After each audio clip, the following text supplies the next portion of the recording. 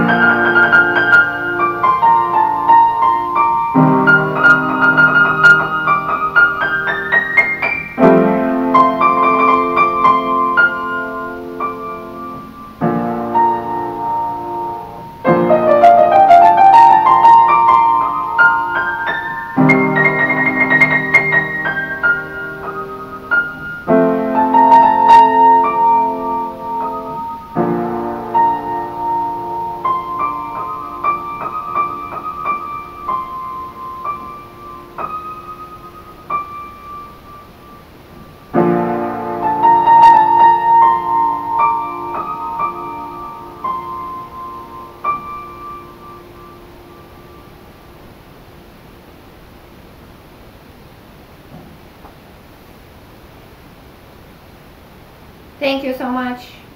Dziękuję bardzo.